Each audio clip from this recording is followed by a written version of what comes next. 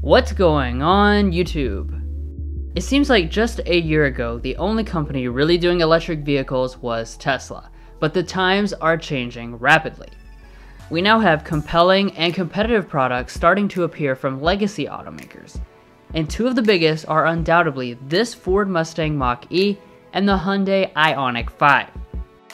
These two have big ranges, state-of-the-art technologies, and fairly mainstream price tags. But the question is, which of these two Tesla alternatives is the best electric family crossover for you? Let's go ahead and find out. So like always, a good place to start is by establishing things with the pricing and equipment levels. So beginning with the new Ioniq 5, which is just now arriving in the US, pricing begins at $39,700. We however have the fully loaded limited model, with the more powerful dual motor all-wheel drive system, and that carries a price tag of $55,725 after destination. Moving to the Mustang Mach-E, it has a very similar structure, though pricing has risen a decent amount for its second model year.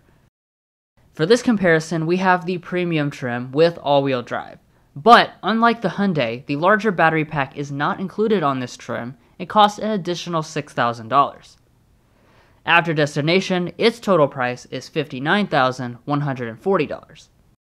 Now it's important to remember that both of these are the MSRPs, meaning that we haven't factored in any federal tax rebates. Towards the end of the comparison in the value section, we will account for the price difference and talk about important information regarding the $7,500 federal EV tax credit. But let's get things going here with the exteriors, where both have futuristic and exciting designs to say the least.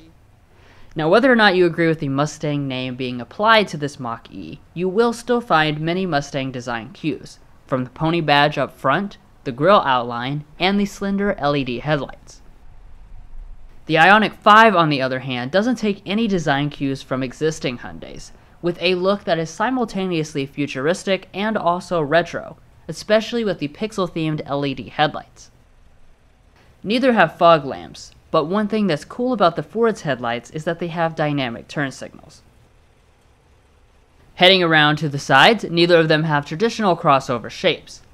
The Mach-E goes for a real smooth and sleek design that tapers off towards the rear, while the Ioniq has a ton of sharp and angular shapes. Both of them are pretty low to the ground, an effect that's amplified by the Ioniq's 1 inch larger alloy wheels, 20 inches versus 19. For these comparisons, we don't award points for our personal preferences in design, since people will feel differently about that. But I will say that both of them are very eye-catching and certainly stand out from traditional gas offerings on the road. One small detail to point out is the lack of a rear wiper on the Ioniq. Now checking out some of the individual features.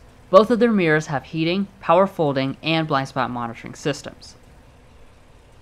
And as you'd pretty much expect, tons of other safety systems are also thrown in for both of them. Among them are forward emergency braking with pedestrian detection, adaptive cruise control with stop and go, lane keeping assist, rear auto braking, and auto high beam headlights. An important distinction, however, is that the Mach-E includes Ford's new Blue Cruise system, which is a level 2 semi-autonomous driving system that allows for hands-free driving on 100,000 miles of highways in the US. The Ioniq also has a highway assist system, but it's less sophisticated and requires hands on the steering wheel to operate. We also need to talk about warranties. While they are structured differently from each other in some ways, the Hyundai definitely has a longer bumper-to-bumper -bumper warranty, and it also offers 3 years of complimentary maintenance. And finally, finishing up the exterior section, the Hyundai is rated to tow up to 2,000 pounds, while the Mustang is not rated to tow at all. But of course you'll spend a lot more time in the interior than you will admiring the exteriors, so let's get to that.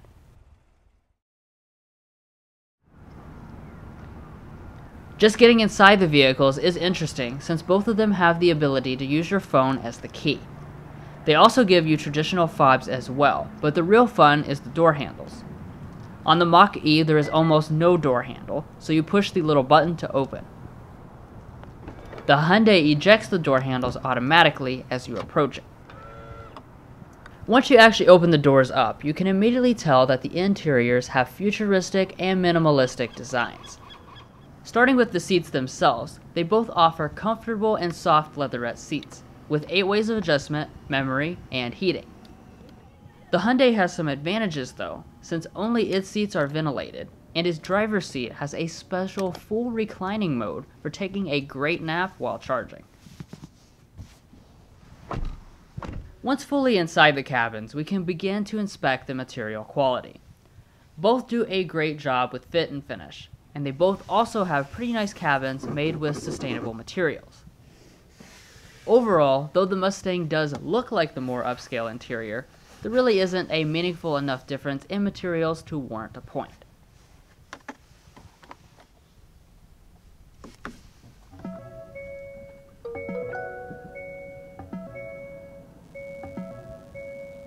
Unlike Tesla, both these two have dedicated gauge clusters in front of the drivers, in addition to the main displays. The Ford's is 10.2 inches and the Hyundai's is about 2 inches larger, both with special graphics. On the Ioniq 5, you also have a blind spot camera system and their brand new AR head-up display, neither of which are options on the Mustang. Coming back to the steering wheels, both have nice manual adjusting leather wrapped steering wheels with heating. But now let's start to dig into the very important aspect of interior storage, where both are very impressive. Being EVs, the simpler powertrain allows for tons of empty space. And I'd honestly say that they are just about equal once you look past the fact that the Hyundai's is exposed and the Ford's is mostly contained in sections. They both also have wireless phone charging pads, but only the Ioniq's console can slide forward and back, and only the Ford's has USB Type-C ports. Moving to the shifters, I'm sure you didn't expect them to be normal, and they aren't. Both are electronic, and when in reverse, both of them have 360 degree camera systems. But only the Ioniq has the special 3D view. But now let's jump into the elephant of the interiors, which are the massive displays. In the Ford, a lot of the controls are inside of the display, whereas the Hyundai keeps things like climate and audio separate. And let's talk about those two things first. Both have dual zone automatic climate controls, and for audio systems, we have Bang & Olufsen and Bose, which we will sample right now.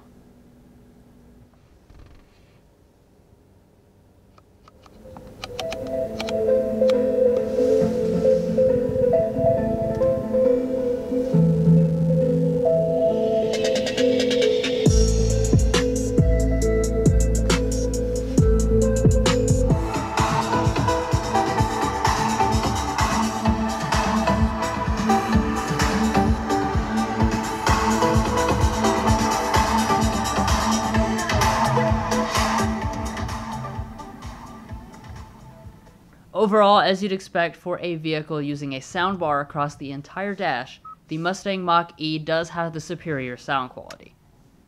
Additionally, the volume knob built into the display is a super cool touch. But now let's start to delve into the infotainment systems themselves. On the Mustang Mach-E, we have a 15.5 inch portrait-oriented screen, compared to a 12.3 inch landscape display on the Ioniq. Both of them have beautiful graphics and resolution, with plenty of special touches for the electric systems. Android Auto and Apple CarPlay are included, but only the Ford runs them wirelessly. And finally, to wrap up the front of the interiors, both of them have auto-dimming mirrors with HomeLink, and giant one-piece panoramic sunroofs that do not open.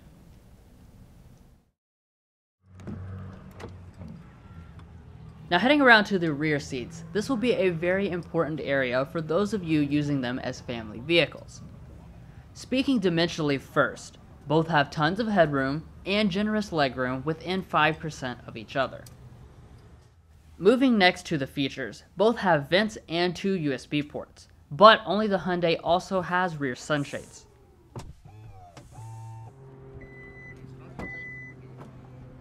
Heading to the cargo areas, they both have power tailgates with hands-free opening. And once they pop open, you'll find almost exactly the same maximum cargo capacity, at nearly 60 cubic feet. but the Ford does give you about 8% more space when the seats are upright. Furthermore, the Mustang has a significantly larger frunk that can also be used as a drainable cooler.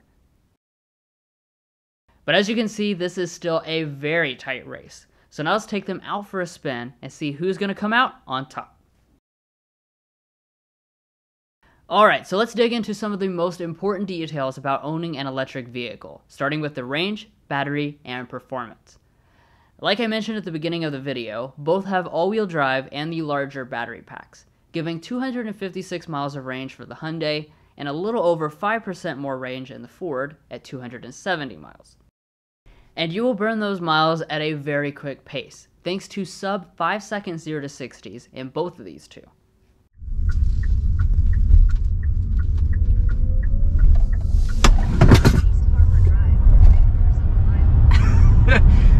and there right there is 60 miles per hour in the Ioniq 5. Wow. Nice. so, as far as the 0 to 60 figure, it's rated at 5 seconds for this model right here. We have all wheel drive, and this is the higher end powertrain. Um, this is not the rear drive version, and it is quick. Wow, that was that was a, that was even up a hill acceleration.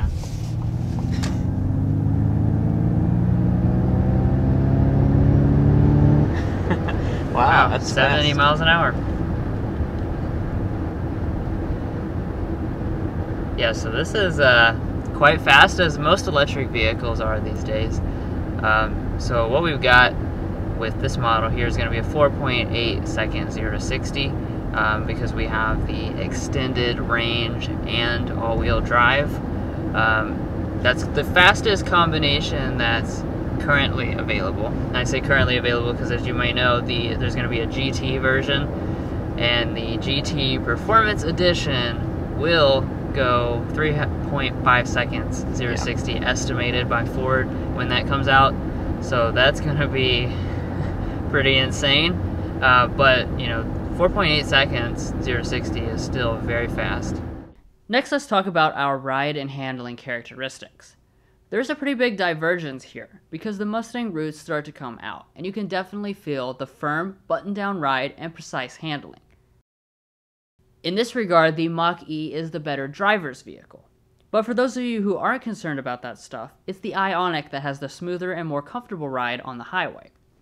Alrighty, and you know, even though I'm in the driver's seat, I do want to go ahead and talk about my normal stuff, which would be like the ride quality for this Ioniq 5. You know, just driving it here on the interstate, uh, we don't have the best, you know, loop to give you guys like city driving and all that. We're not from San Diego, you know, we're not very familiar with the area, so we're just going to be cruising here on the highway, which is a perfect example of just how well this vehicle rides. Um, you know, cruising here, it just it really rides exceptionally well. I mean, we're just kind of going up and down on this bridge right here, and it is doing a fantastic job with the ride quality. You know, I yeah, comparing, you know, it to its main rivals like the Mach E, I think this is probably more comfortable than that. And you can really tell. I mean, this is a this is a sporty SUV, um, just like with the Model Y. Um, this is definitely going to be on the sportier side of crossovers for sure. Um, you can tell that the suspension is you know pretty stiff. It's got a really nice control though when you go around corners and things like that and especially like I was saying when you go into unbridled mode you have the uh, steering that's really firms up gets uh, nice and tight and very fast responding. I also want to mention the sound level ratings of these two on the highway. Now we can't compare them directly this time because we were on very different road surfaces on opposite sides of the US but here is the sample for you to hear. Anyways we're gonna go ahead and take a sound level reading at our usual 55. Of course, we're kind of on a rough concrete road, but we'll see how it turns Lots out. Lots of traffic around us.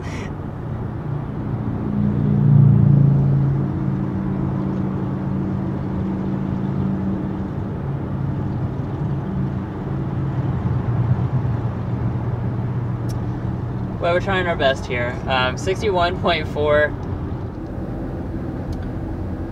and we're looking at 56 and a half decibels. Um, so that's a good reading.